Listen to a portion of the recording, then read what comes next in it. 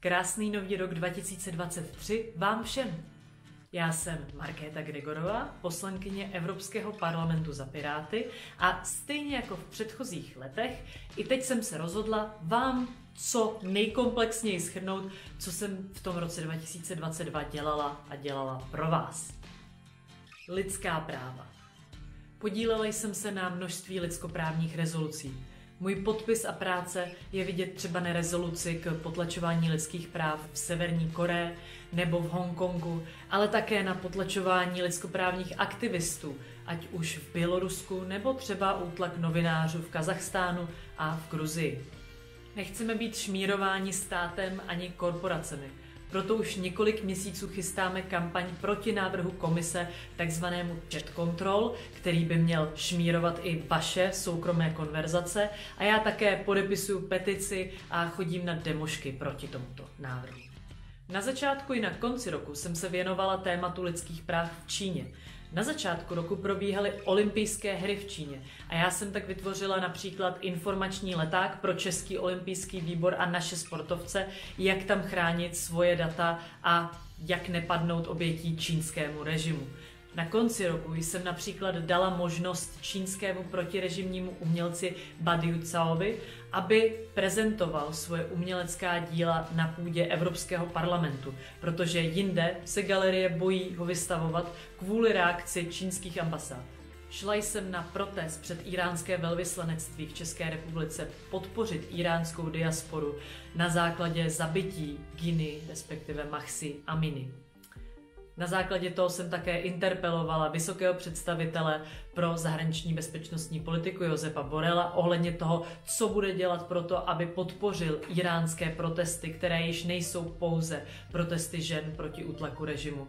A také, co bude dělat ohledně Iránu, podporujícího svými zbraněmi, například drony, ruskou válku.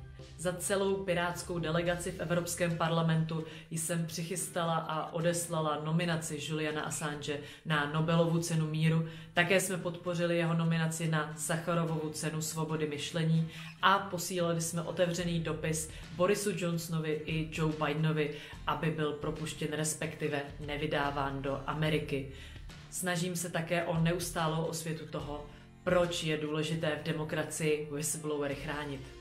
V Evropském parlamentu jsem dala možnost vystoupit zástupcům diaspor v Evropě, které jsou utiskované v zahraničí, například Ujgurům, Kurdům nebo krymským Tatarům. Organizace nezastoupených států a národů na tomto setkání také představila svoji zprávu o represí těchto diaspor a menšin právě v rámci Evropy. Ano, i u nás může například čínská policie skrz své policejní stanice, které měla dokonce i v Praze, nějakým způsobem ubližovat ujgurským obyvatelům. Stala jsem se také tento rok místo předsedkyní skupiny Přátel Ujgurů a hned jsme si zapsali jeden úspěch a to bylo prosazení, aby Evropský parlament začal mluvit a uvažovat o tom, co se Ujgurům děje na čínském území jako o genocidě válka na Ukrajině a bezpečnost celého regionu. Jelikož jsem v rámci výboru pro mezinárodní obchod, tedy i ekonomickou pomoc, hlavní osobou za naší frakci pro tento region, byl to poměrně plný a náročný rok. Začali jsme tím, že jsme schválili makrofinanční asistenci Ukrajině a posléze i makrofinanční asistenci Moldavsku a následně jsme schvalovali ještě spoustu dalších balíčků pomoci humanitární i finanční právě Ukrajině v průběhu roku. Byla jsem stínovou zpravodajkou návrhu na nulové clo pro dovoz produktů z Ukrajiny, což nakonec úspěšně prošlo. A také jsem vyjednávala návrh na snížení cel a možnosti dovozu některých produktů z Moldavska, jelikož tato malá země, ačkoliv je velice proevropská, byla ekonomicky závislá na Rusku, ale i Bělorusku. Možná i tuto zimu jste tedy mohli vidět díky mně nějaká moldavská zimní jablka na svých regálech. Pracovala jsem jako stínová zpravodajka na zprávě o bezpečnosti regionu východního partnerství a vztahu vůči naší společné bezpečnostní a obrané politice. Je to velice důležitá zpráva, nakonec byla schválena a já věřím, že tímto budeme zvyšovat svoji přítomnost v regionu, protože tento potřebuje a také si to zaslouží. Jak moc dobře víme, válka na Ukrajině nemá dopad pouze na lidi a území přímo na Ukrajině, ale i na nás a na ty, kteří z Ukrajiny uprchli. Já jsem se podílela na zprávě k ochraně dětí prchajících před válkou z Ukrajiny, jelikož těm hrozilo, že by propadly sítem systému a že by s nimi například bylo obchodováno či byly zneužívány. Podali jsme s frakcí výzvu na omezení přístupu ruských lobbystů do budov evropských institucí. Nakonec úspěšně. Podílela jsem se na několika zprávách o přidružení, o kandidátském statusu, o dohodách a také diplomatických jednáních všech zemí v tomto regionu, především Gruzie, Arménie, Azerbajdžánu, Moldavska, ale jednali jsme také s exilovou vládou v Bělorusku. Podpořila jsem kandidátské statusy pro Ukrajinu a Moldavsko a region jsem v průběhu války navštívila. Hybridní hrozby, kyberbezpečnost a technologie. Pamatujete si, jak Čína odstřihla Litvu kompletně od svých trhů jenom proto, že si Litva dovolila u sebe otevřít tajvanskou ambasádu? Tomu jsme zpracovávali a já jako stínová zpravodajka na tom pracovala takzvaný protinátlakový nástroj, který má zajistit, aby se toto nemohlo dít a ten tlak ekonomický třetích zemí na členské země nebyl možný. To jsme úspěšně dokončili. Evropský parlament také vydal svoji nejobsáhlejší zprávu k dezinformacím a jejich řešení vůbec. Já jsem nebyla přímo stínovou zpravodajkou, ale jako koordinátorka výboru pro cizí vměšování a dezinformace jsem se na textaci také podílela a přinášela jsem hlavně experty, kteří se k tomu mohli vyjadřovat. Následně jsme byli schopni mandát našeho výboru pro cizí měšování a dezinformace úspěšně prodloužit a také jsem uspořádala konferenci týkající se dezinformací na Facebooku a toho, jak je Meta neřeší i jak s tím například operuje Indie spolu s různými experty, včetně whistleblowerky Facebooku Sophie Zhang. Spustila jsem osvětovou kampaň ke kyberbezpečnosti pro vás, české publikum, která měla název Neklikat. V rámci toho vyšlo spoustu článků, také podcastů, na které jsem obzvlášť hrdá, třeba i s ředitelem Nukibu nebo různými kyberbezpečnostními experty.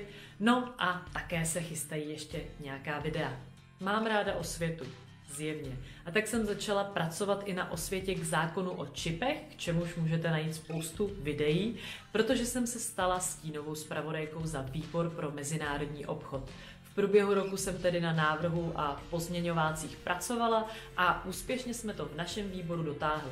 Teď se snažím ovlivnit výslednou podobu ve výboru pro průmysl a obchod. Sebevzdělávání je důležité.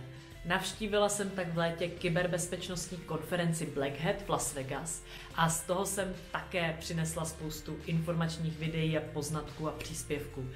A samozřejmě jsem si z toho hlavně pro sebe odnesla spoustu informací, které můžu použít ve své práci. Jako zpravodajka za výbor pro ústavní záležitosti jsem zpracovávala návrh komise k kyberbezpečnosti v rámci všech našich institucí. Parlament, komise, rada. To jsme teď v prosinci dojednávali, je to hotové a budeme to v lednu schvalovat. Občané, proběhla konference o budoucnosti Evropy. Já jsem byla především ve pracovní skupině k digitálním věcem, kde jsme za Evropský parlament zpracovávali návrhy k vašim návrhům občanským. Nakonec to vše prošlo a myslím si, že obecně ta konference byla úspěšná a jsem moc ráda za ty z vás, kteří se zapojili, ať už v jakékoliv podobě. Jsem samozřejmě trochu zklamaná, že ne všechny vaše návrhy byly reflektovány komisí nebo radou, ale nevzdávejte to. To občanské zapojení je hrozně důležité. Byla jsem samozřejmě s vámi na sociálních sítích. Kromě těch klasických a nově přibyté Mastodonu, náhražka Twitteru, tak jsem byla třeba i na YouTube a přinesla jsem vám 59 videí, ať už z kampaně osvětové z pléna nebo třeba i recenze na knihy. No a setkávala jsem se s vámi i osobně, protože to konečně po koronavirových letech šlo. Setkávala jsem se s vámi na vašich školách nebo na besedách. Zvala jsem školy i k nám do Bruselu. Samozřejmě mi napište, pokud chcete, aby i vaše škola přijela do Bruselu, nebo já přijela za vámi.